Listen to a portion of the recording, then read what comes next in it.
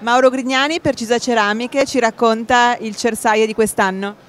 Sì, presentiamo essenzialmente quattro collezioni più un ampliamento di un'altra collezione. La prima collezione è la serie Vintage, è un nuovo legno in formato 100, 2500 e 600 in due tipi di finiture, naturale e anti-slip, con sei colori particolarmente moderni e attraenti, con eh, una tendenza al rustico ma abbinato alle, alle richieste del mercato contemporaneo. La seconda serie che voi vedete da questa parte è la serie Jurassic, questo è un legno petrificato, il progetto è nato inizialmente seguendo le esigenze del mercato specifico, in questo caso il mercato americano, per poi e cercarlo di evolvere anche con le esigenze del mercato europeo. In questo caso i formati sono il 50-100 e i sottoformati in 30-60, 50-50 e 20%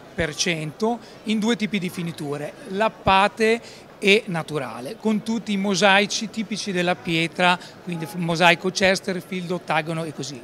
Proseguendum è un prodotto eh, nuovo, sempre nell'ambito eh, per coprire le richieste dell'architettura, un prodotto che si chiama Reload, in questo caso il formato è 60x120, 60x60 e 20x120. In questo caso abbiamo cercato di abbinare eh, due eh, richieste particolari, il cemento e anche il cotto e miscelare un po' le grafiche di entrambi questi prodotti naturali per cercare di riproporlo sul mercato ceramico. Sono sei colori eh, di tendenza, quindi colori minimalisti, anche in questo caso con due tipi di finitura, una finitura naturale e un anti-slip fatto in modo che possa essere anche utilizzato a pareti in maniera decorativa.